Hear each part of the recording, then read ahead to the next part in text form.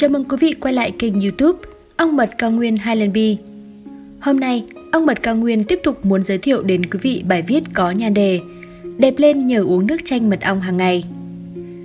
Chị Thanh ở Định Công, Hoàng Mai, Hà Nội cho biết, nhờ uống nước chanh pha với mật ong kết hợp với tập luyện và chế độ ăn hợp lý nên chỉ trong 2 tháng chị đã giảm được 5kg và làn da đẹp lên trông thấy.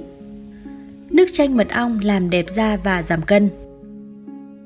Theo chị Thanh, vào mỗi buổi sáng, chị thường pha bình nước 300ml cùng với nửa quả chanh và hai thìa mật ong để mang đến phòng tập aerobic. Uống nước chanh mật ong không những giúp chị cảm thấy khỏe khoắn, tạo sức bền khi tập luyện mà còn có tác dụng làm cho tinh thần sảng khoái, giúp chị có một ngày làm việc hiệu quả. Chị Thanh cho hay, nước chanh mật ong uống vào buổi sáng là hiệu quả nhất. Có thể pha bằng chanh tươi với mật ong hoặc pha nước cốt của chanh đào ngâm mật ong vào nước ấm cũng rất tốt. Hiện đang vào mùa chanh, đặc biệt là mùa chanh đào nên tốt nhất là mùa chanh tươi về dùng là tốt nhất.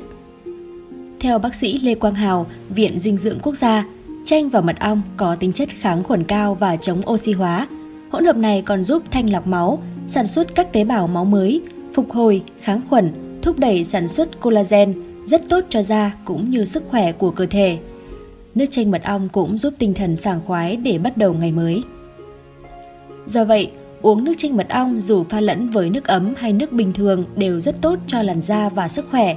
Tuy nhiên, nếu uống vào buổi sáng sớm khi chưa ăn thì không nên vắt quá nhiều chanh. Với người bị đau dạ dày thì không nên uống nước chanh pha mật ong khi đói. Uống vào bất cứ thời gian nào trong ngày. Ngoại trừ người bị bệnh dạ dày thì nước chanh mật ong có thể uống được vào bất kỳ thời gian nào trong ngày, bởi trong mật ong chứa rất nhiều năng lượng và khoáng chất. Nhờ pha cùng mật ong nên uống nước chanh mật ong không những giúp giải độc cơ thể mà còn cung cấp năng lượng và cải thiện tâm trạng rất hiệu quả. Mật ong cung cấp năng lượng tức thời, chanh kích thích các enzyme trong dạ dày, nước cung cấp máu cho não. Ngoài ra, hương vị của chanh và mật ong được coi như một phương pháp thư giãn tự nhiên. Ngoài thuộc tính tẩy rửa dạ dày, chanh còn có một thành phần gọi là pectin, một loại chất xơ giúp cho cảm giác không thèm ăn. Hỗn hợp này cũng tạo ra một môi trường kiềm trong dạ dày, giúp giảm cân nhanh hơn. Chính vì mật ong giúp cung cấp năng lượng tức thời nên những người muốn giảm cân khi uống hỗn hợp nước chanh mật ong vào buổi sáng sẽ khiến cho cơ thể không còn cảm giác thèm ăn. Kết hợp với việc tập luyện, chế độ ăn giảm tinh bột, đường, chất béo thì nước chanh pha mật ong được uống hàng ngày sẽ trở thành phương pháp làm đẹp hiệu quả cho chị em phụ nữ.